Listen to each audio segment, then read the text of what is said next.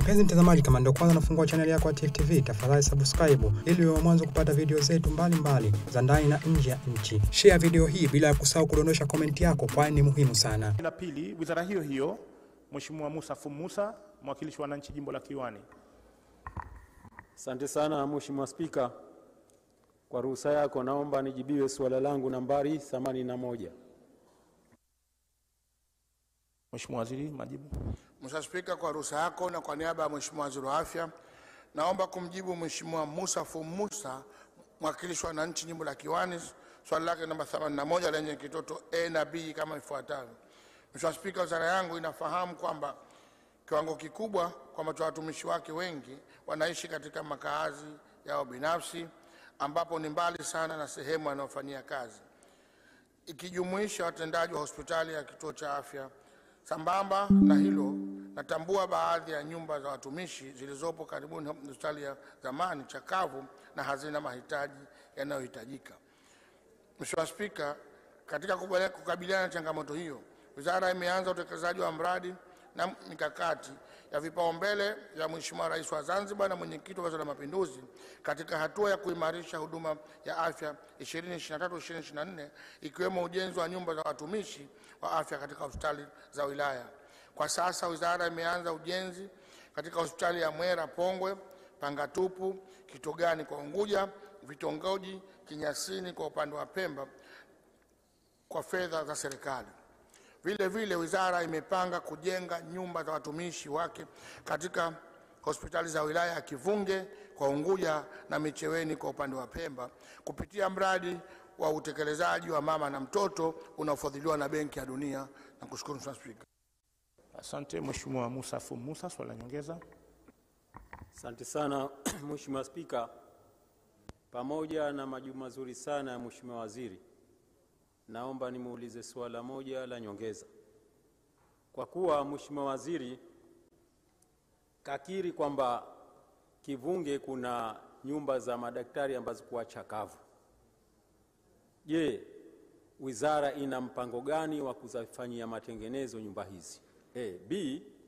Na kwa kuwa kasema kwamba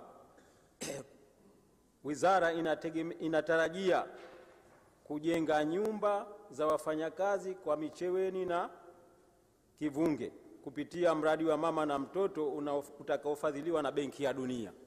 Je, nimuulize Mheshimiwa Waziri, je, mpango huo utafanyika wakati gani? Asante sana. Mheshimiwa Waziri, majibu.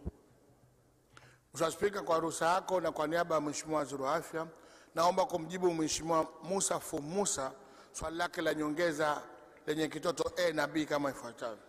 Swali lake la kwanza, zile nyumba za Kivunge, je, lini zitafanyiwa matengenezo ili madaktari wetu waendelee kuishi? Jibu ni kama ifuatavyo. Zile nyumba za Kivunge kutokana na muda ulipofika hazina hadhi na haziendi na wakati, tunakwenda kuzivunja tunakwenda kujenga nyumba zenye sifa za orofa, nyumba moja la orofa nne, mtakuwa mna nyumba 32, mna two bedroom na mna three bedroom. Hiyo ndio serikali ya Dkt. Mwinyi ilivyodhamiria katika kuwajengea makazi bora watendaji wake kufanya kazi. Zile hazina hazi, zishapitwa na wakati, ni doza zote, tunaweka kitu kipya. Lakini swali B, lini utaanza? Juzi katika kupitisha bajeti hapa nilisema mradi wa World Bank ume, unaanza karibuni. Sasa hivi tupo katika hatua ya mwisho ya kutafuta kutangaza tenda ili kupata wakandarasi waingie uwanjani na kushukuru. Asante Mheshimiwa Juma Al Khatib, swali la nyongeza. Asante sana Mheshimiwa Spika, nashukuru kwa kunipa nafasi kumuuza swala moja la nyongeza Mheshimiwa Waziri.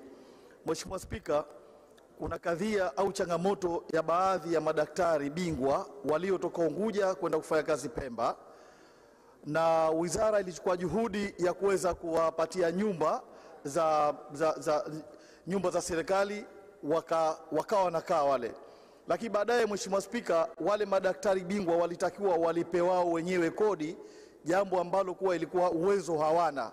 Na Mheshimiwa Waziri swala hili analifahamu. Nitaka kujua, je, amechukua juhudi gani katika kuwasaidia madaktari, watu, madaktari wetu wale ili wasiweze kuondoka Pemba wakaenda sehemu nyingine, wanahitajika kufanya kazi kule Pemba. Ni ipi kauli ya serikali katika kadhia hili Mheshimiwa, ambao kwa wewe pia unaifahamu? Asante. Mheshimiwa Waziri, majibu. Mheshimiwa Spika, kwa ruhusa yako na kwa niaba ya Mheshimiwa Waziri wa Afya, naomba kumjibu Mheshimiwa swali lake la nyongeza kama ifuatavyo kuhusu kadhia ya madaktari bingwa kuishi Pemba na kulipishwa kodi.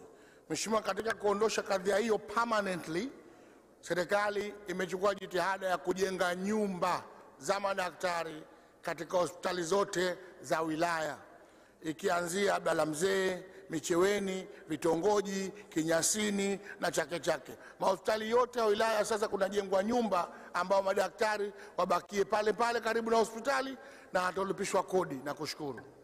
Tifu TV inakupatia video mbalimbali kutoka ndani na nje ya nchi. Tafadhali endelea kutufuatilia kupitia chaneli yetu ya Tifu TV, YouTube, Facebook, Twitter na Instagram, bila kusahau kudondosha komenti yako, kwani ni muhimu sana. Tifu TV tupo kijamii zaidi.